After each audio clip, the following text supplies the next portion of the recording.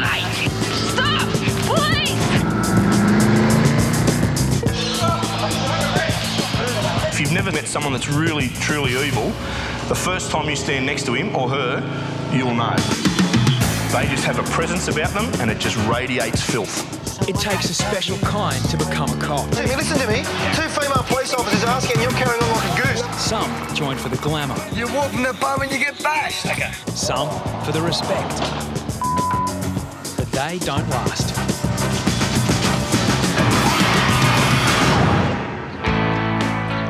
It starts here.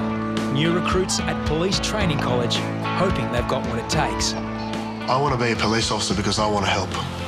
I can make a difference, and I know that I can.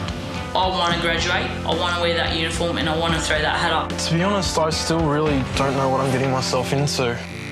It will be the toughest eight months of their lives. The more you sweat in this place, the less you'll bleed out on the street. That's it, man.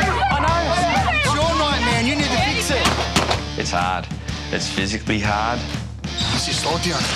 It's emotionally hard. This is all I've been working towards for the last two years. To be ill-equipped and come down here is just lunacy. You're going to be smashed. But the ultimate test lies ahead. As we follow from the classroom to the street, where the lessons start for real.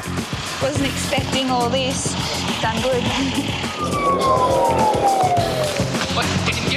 No matter what stories we've heard along the lines, Get this bike out. it's all just words. I don't think that anything at all can prepare you for it.